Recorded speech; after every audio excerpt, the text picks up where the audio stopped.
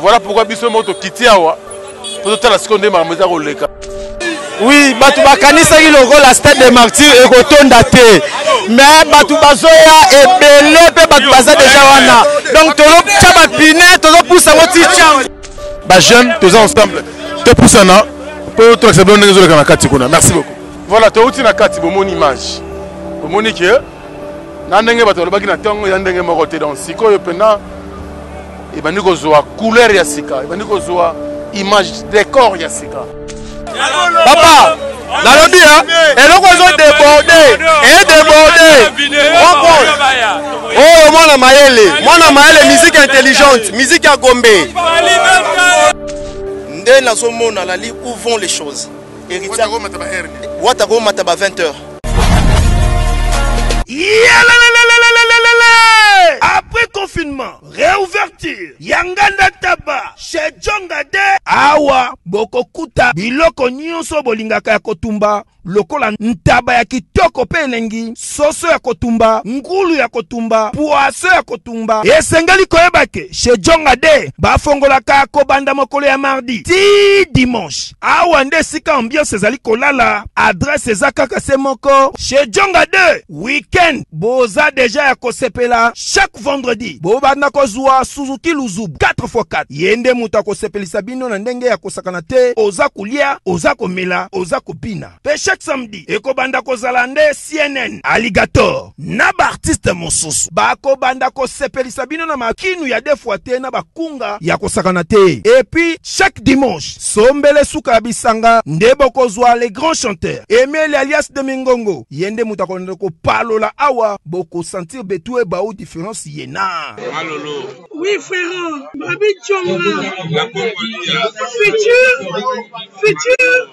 Hein?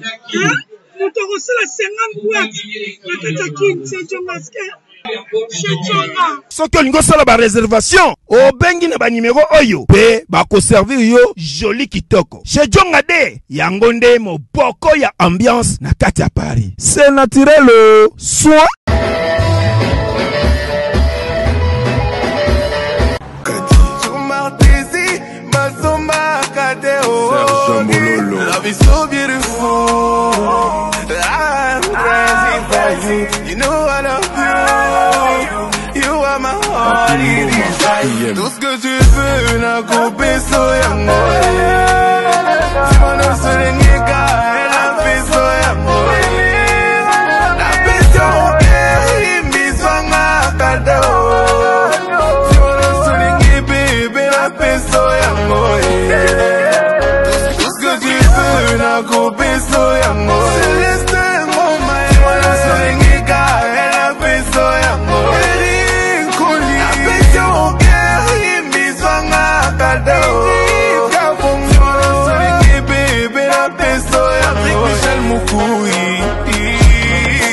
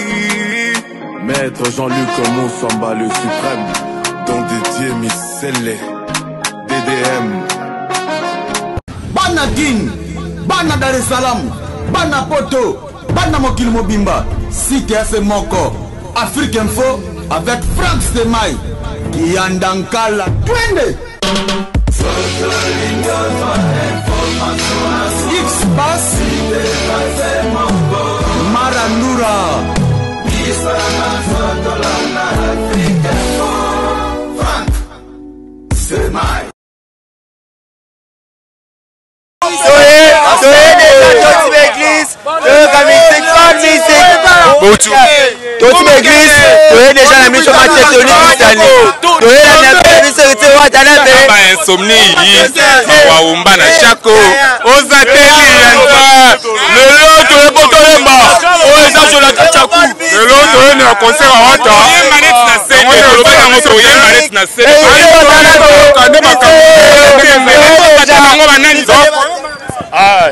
oyo eza biso oyo matete sadi toyende ndule babi bayembaka na bango me basalaka bavanti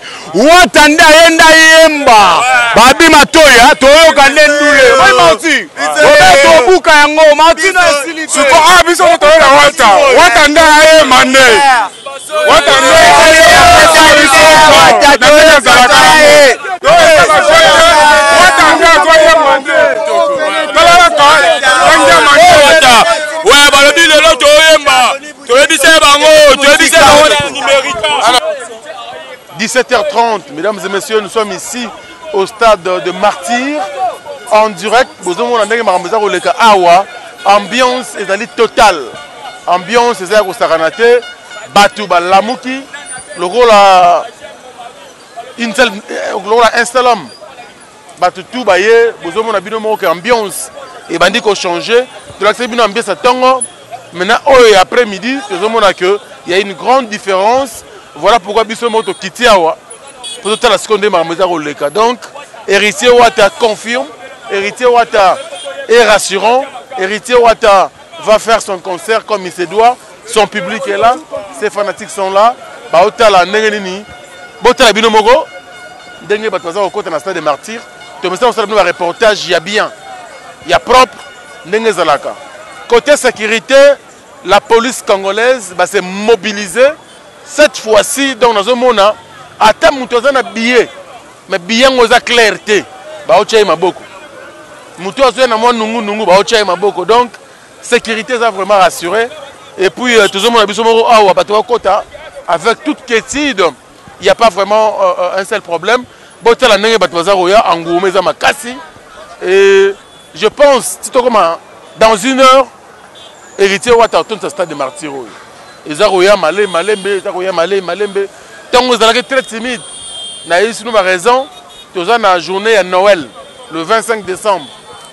Donc il est normal que batu babanda na ba eglise ezali culture na biso comme à l'accoutumé ezalaka ndenge wana tobandaka na prière tozongi tolie en famille sikoyo ekomi moment ya kosepela ya kobanda fete fete tobandela ana stade de martyr avec héritier wata gucci moto na tembe tour de contrôle le dernier fils du clan wenge Heritier Watanabe, voilà pourquoi tu es bino botuni biso mwa mingi Africa Info ndenge nini kuna est-ce que héritier est-ce que héritier est-ce que héritier esika yo ofandi soki oza na billet na yo ya VIP to billet moko standard n'hésite pas via bato baza kokota en masse mpo bakende koassiste na concert ya kitoko ya héritier wata gucci moto na tembe nazolongwa awa Nazo pusa na mwa liboso.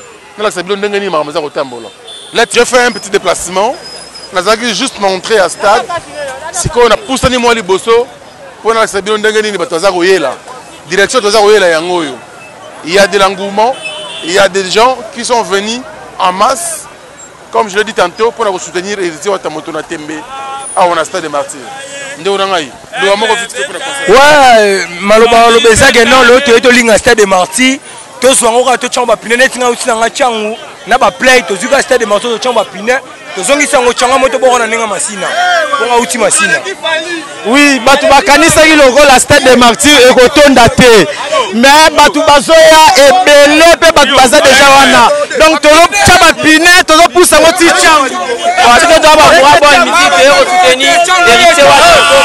nalobi en tout cas tembe eza lisusu te tembe eza te musique stade mwana mayele atanga o comprendre papa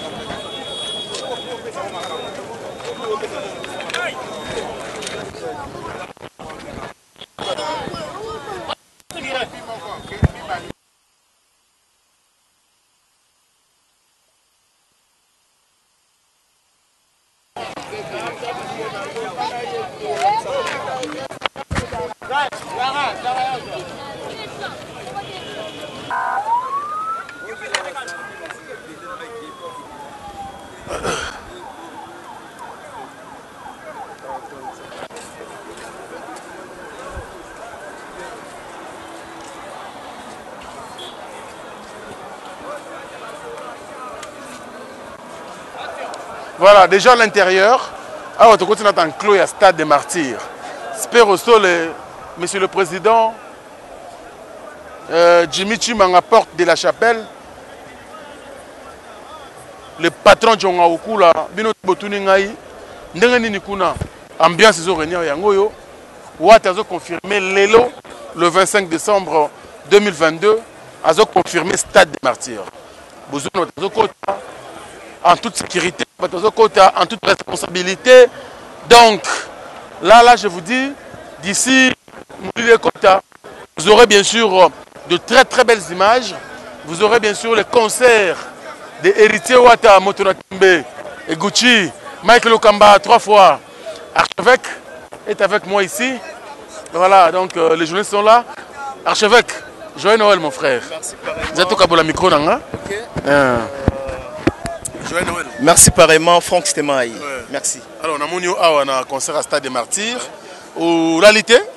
le 30 juin tozalaki na yo awa na stade le 29 octobre tozalaki no awa na stade lelo le 25 décembre toza na yo mpe awa na stade sikoyo héritier watanabe voilà euh, sikoyo héritier euh, watanabe moto na moto aza na aza na moment na ye ezalaki moment ya wenge moment ya fali et aujourd'hui c'est le moment de héritier watanabe euh, déjà eloko esali nga plaisir euh, frank stemay euh, komona un jeune comme héritier watanabe bato bazoya bato déjà na kati déjà balakisi bayebisi biso une grande partie ya bato déjà bakoti ezosala biso vraiment bien ya komona euh, artiste na bafani na ye na bamelomane de la bonne musique baye kosoutenir euh, mwana mboka alors bato bazalaki na mwa crainte mpo na baimage otambo na ntongo Timidite oyo erenaki ana stade de martyr, les gens ont dit en tout cas héritier faut annuler concert.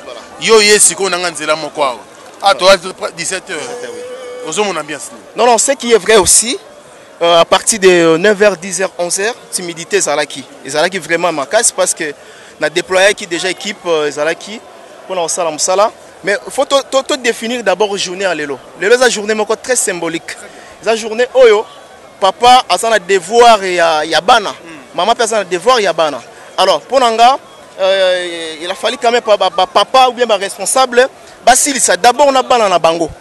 Basilisa na bana na bango. Yango ozomona tokomi déjà les après-midi, ozomona engouement oyo ezoya déjà. Château euh, aide biso. Euh, château oyo aide biso.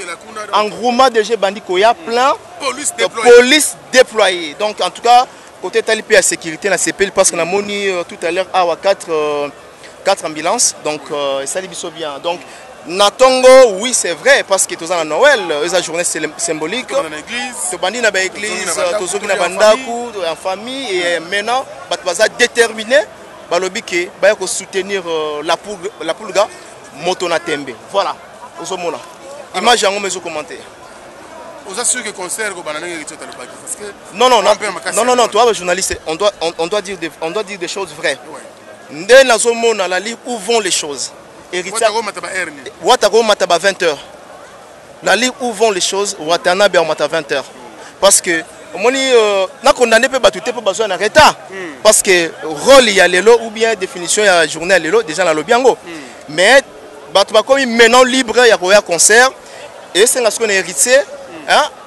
public wana pe bazala pour que bayemba na ye donc à partir ya 19 heures ou 20 heures akozala deja na podium merci kotala yo oh, na papa na biso gobelisha première dame, de, première dame de lausanne napesi bango bambote hmm, joyeux noël na bango joyeux noël na bango hmm. euh, tolingaka bango mingi wana bamama na biso euh, fumu ya, ya switzerland ah, ngai abengaki bongo hmm. fumu ya switzerland napesi gobelisha grand prêtre na bango tout viasilaka te ya tilelo fumu na forme fumu na forme merci ko mm. la première dame na pesi vraiment bambote alors mike lokamba namoni yo euh, ozosala mosala olingi kotika héritier te depuis tobandaki makambo oyo na biso eza role na biso voilà tobanda na wenge tobandi epai ya fali epuis lelo héritier watanabe oui bango nyonso baza mise congolais bazo mérite soutien na biso ah très bien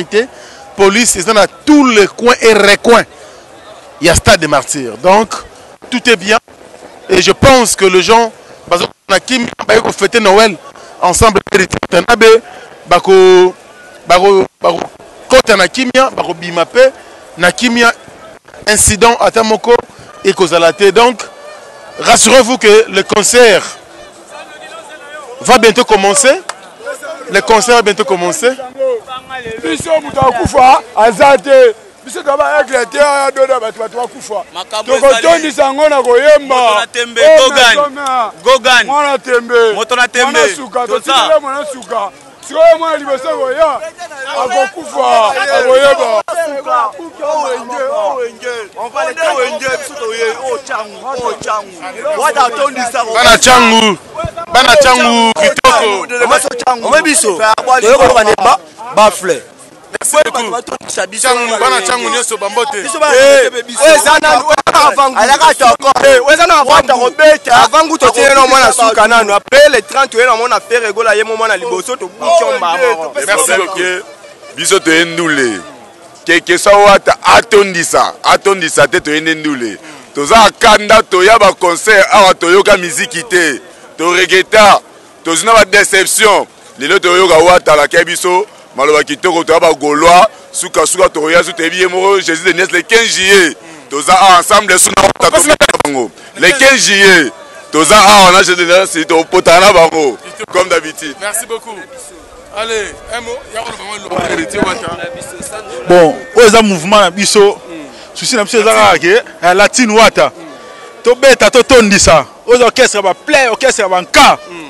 bamasa bauti mikili bapaye biye baye baye otala ndule toa mposa desordre te tobeta totondisa bon ekotonda ko biso tembe kito ba playboy mpe baya ba ah, playboy bango oyo bakirie ya wata ya sakana te yo omona kaka ndula les eh. ya mbongo nanu dabord tobeta bango woso talaka propre toye stade papa toye stade kitoko babena na basa awa combo na yo oza nango alesi ozo filme ser yaka oloba ser yaka yaka yaka mona mwasi na mposa na yo oloba yaka yaka yaka il y a des, il y a des, des jolies filles aussi qui sont venues soutenir Héritier Watanabe euh, ici au stade de Martyrs. Ambiance ezali total. Ambiance ezali total. Yaka chinois yaka yaka. olobani mpona concert ya witi donc concert oyo ezama na 100 réussite donc euh, lelo eza mokolo ya noël bato bacomprendre soki etondi un peu en retard parce que bato bakendaki baéglise mpo ya dimanche ya mbotama mwana nzambe donc euh, eloko moko totikali yango kaka ya kosala boro oyo toyotisa yango bapine totindika yango toyoki etika yango kota kisenso nyonso abeta ti après héritier aelanda yango na kisenso donc en tout cas félicitation héritier watanabe aose quand même aose eloko ya monene boye aose oyo eza mikate te eza mise te eza fikine te oyo eza stade eza 80 000 places donc en tout cas félicitation à héritier watanabe merci beaucoup merci beaucoup allez Noko ndenge nini? Ouais. Danger. Mm. Toza awa na stade de martyr. Namoni yo awa. Ouais. Est-ce que oye kotala héritier? Souci eza nini? Pona journal. Souci na ngai eza kaka ke toye kokokisa maloba mokonzi alobaki toya mpo biso toza bana la purga moto na tembe mm. yango toye toye torespecte maloba mokonzi donk nde eza bongo mwana mai nyonso oyo ayebi ke la purga babeta bika bao oyo bakita bamata etonda nango kaka donc oki oh, tomata bwa o oh, etonda nango kaka donc lokola biso deya toye donc seke deya bajeune tu bayebi deyake makambo yango oyo donc seke fo tozala oyo eza kaka bajeune yakaka bapaka te bana wenge nde toza awa donc toza makila omoni moto aleki bango oh, moto aleki bango omoni moto aleki baka tani nakota concert bana nayaki na kimia ata mbangu te hein polisi ambuye nga te sécurité moko embuye nga te nasombi biye na ngai calme nabimisi 2500 franc nasombi biye na nga nazokota calme toye bato bazokota toyebisaki bino ke bazalaki kodistraire bino wana ya bato ya baepice bachaillere banani oyo ya baresponsable yango kimia makambo ya mabe mabe eza te kimia biso toya bachaillere te baintellectuel musique nde yango oyo boya toyoka musique oyo ya bashayer ya bafazer ya banani wana te miziki nde yango boya toyoka miziki oka lakananta okosela jour mokolo esalaaekokaka kaka yango oyo kisi ya mboka toza na bino le 25 yango yango balobaki hmm. donc nabe na yango mokie mokie mpo krike eza te ka bapine totinikoka eh. nabeta bango ntina suka totia yango kuna fo elongwa tosolola nanu moyembi moto aleki bato sutu akoyemba baoyemba te biso nde toyemba lelo allez merci beaucoup nous sommes ici il y a des moni bastaff eza mwa ebele awa bastaff eya mwa ebele mpo na kosoutenir héritier watanabe donc ça prouve que makambo eyali makambo eza pene ya kosakana te donc courage à l'artiste héritier gucci watanabe moto na tembe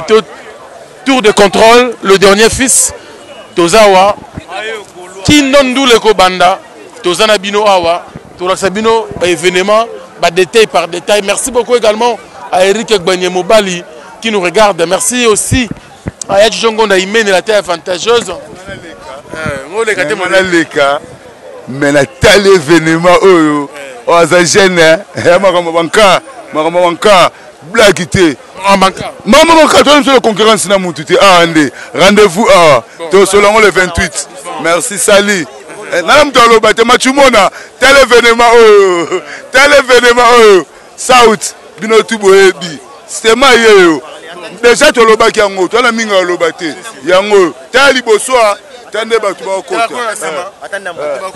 eh. ah, biso tokota Taka wata nde makambo donc awa mutu akufi aza te wata nde fin ya makambo awa tokoyoka nde ba chant na kati donc merci toute génération mikolo bana mike ba jeune toza ensemble topusana mpo tolakisa bino ndenge ezoleka na kati kuna merci beaucoup voilà touti na kati bomoni image bomoni ke na ndenge bato balobaki na ntango ya ndenge moko te donc sikoyo mpenza ebandi kozwa couleur ya sika ebandi kozwa Image decor ya sika.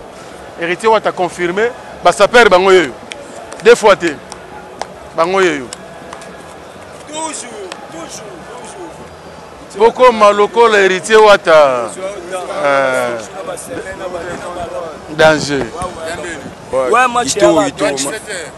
omoni stade mpena ndenge bato bakomi oya sikoyo ya masse parce que bino sikoyo makambo patiki moya ya excellence Euh, son excellence patrick muyaya katembwe ministre ya communication média biso bana bandal tozalaka toujours derrière ye oyo basaper na ye baprive na ye ya basaper lokola ye asoutenira ne bato nyonso son excellence asoutenira wenge ayo soutenir fali ayo soutenir wata oyo azalaka na ye souple souple nde alobi na nga baleki na nga bokende na martyr bosoutenir eritie wata la pulga po abeta ba musique naye ba bien lokola ba tout est cash cri chéri mon cœur blessé ah ba biloko wana toye po toyoka ba français ya héritier ba français ya wata ozwa ngo wapi na mboko eza ti ba français na ezala toyokaka ba français na ye sans cash ouais, ouais, ouais, l'homme sage de la presse mondiale nde toyebisa ye bango toujours tobuka le stade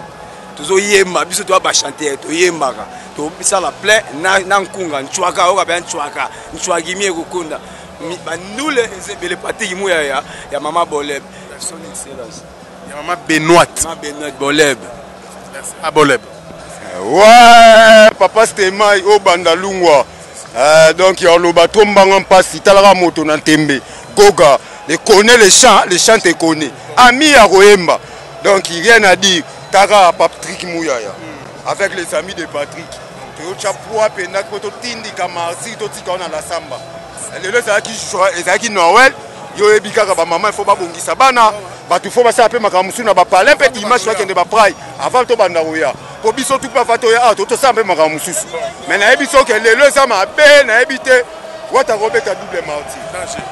Ouais, ouais, ouais, le, le molobeli ya solo tolobi ke awa mai ezalaki mai wata lelo azolongola stade azokomisa yango tala triomphal ye mekende banda mpo lelo ezalaki mabe abika etembe sili mpo eh, mbanga mpasi mbanga mpasi tala kaka ke bami ya patrik muyaya toujours toza na bakeli kone le média le média te kone mingi oloba te mbanga mpasi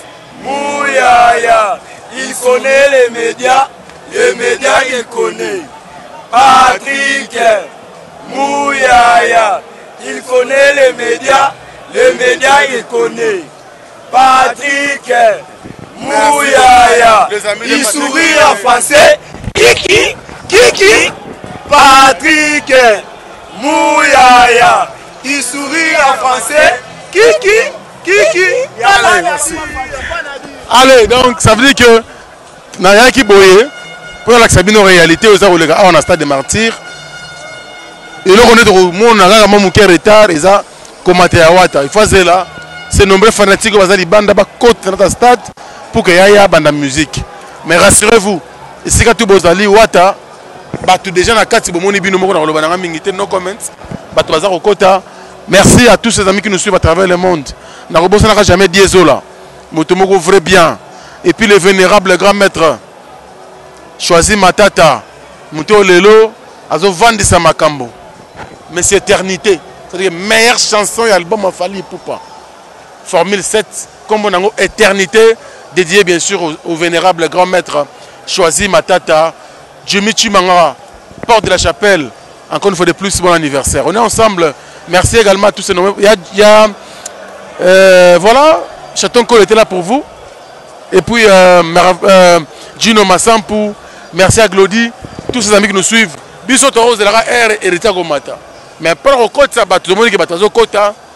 Police ezo encadrer bango très bien, bazo kota malembe malembe kino stade oyo ekotonda mpo alobaki kaka azozela 80 000 personnes na ye so 80 000 personnes bakoki ye abandi kobetela bango miziki kitoko à tout à l'heure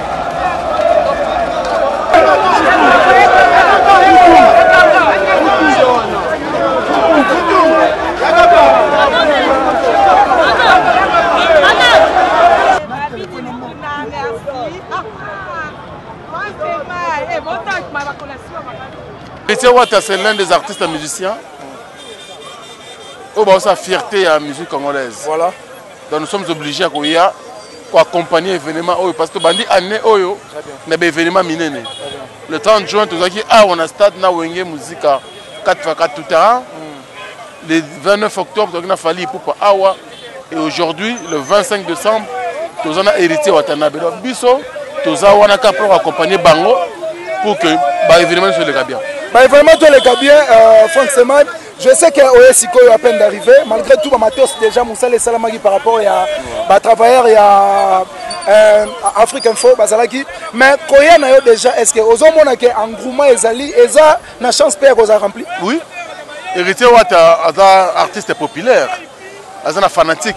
Très bien. aza na bato balingaka ye deja ye moko héritier au-delà ya musique ya mambutu bato balingaka ye les gens aiment la personne de héritier wata et soki obakisi la bonne musique asalaka c'est possible bato ya soutenir ye donc na ntongo nyonso te normal lelo eza noël bato bakende baeglise bato bazongo bafanda moke en famille sikoyo les gens sont dehors donc rendez-vous eza moko ezali epai héritier wata awa na stade de martyr voilà pourquoi toye sikoyo merci beaucoup frank stemai lisuka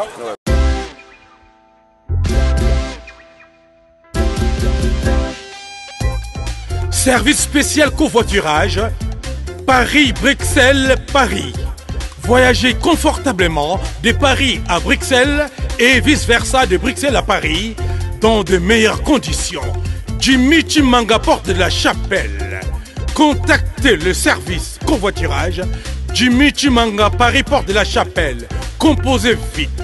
Le plus 33 7 87 76 95 65 pour toutes vos démarches afin d'obtenir le passeport Banamboka à Bruxelles dans un délai raisonnable.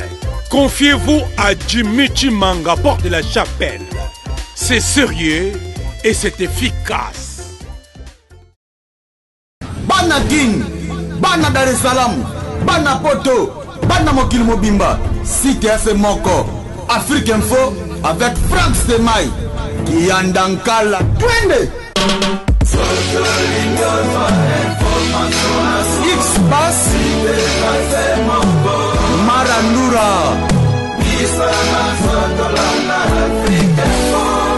Frank.